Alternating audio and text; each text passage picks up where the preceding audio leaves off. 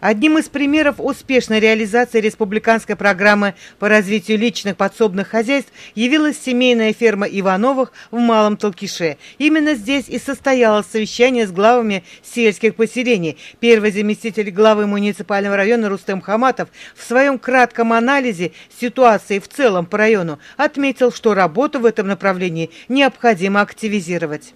Мы относимся как раз к, тем, к тому району, где имеются резервы и возможности значит, развить и личное подсобное хозяйство, и семейные фермы, э, и вообще в целом крестьянское фермерское хозяйство, но и в то же время э, слабо работаем с кредитной системой.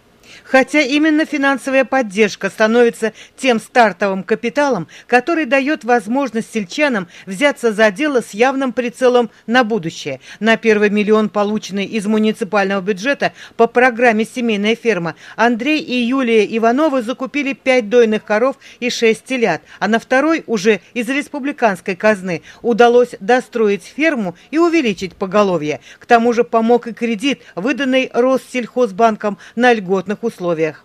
В полном объеме она готовая.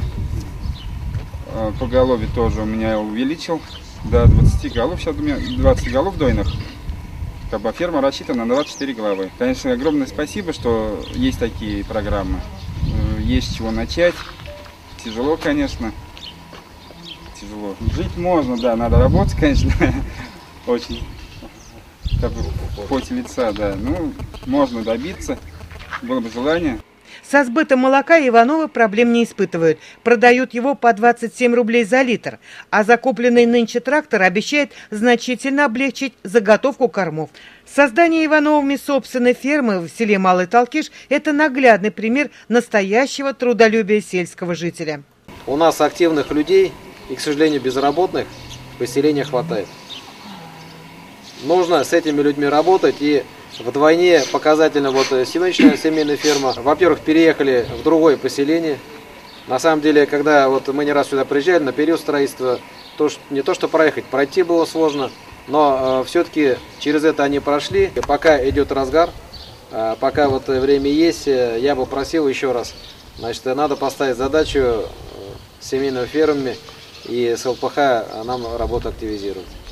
Эта же мысль прозвучала и из уст Ивана Чурина, руководителя управления сельского хозяйства и продовольствия. После завершения разговора на эту актуальную тему участники совещания побывали в отремонтированном местном храме.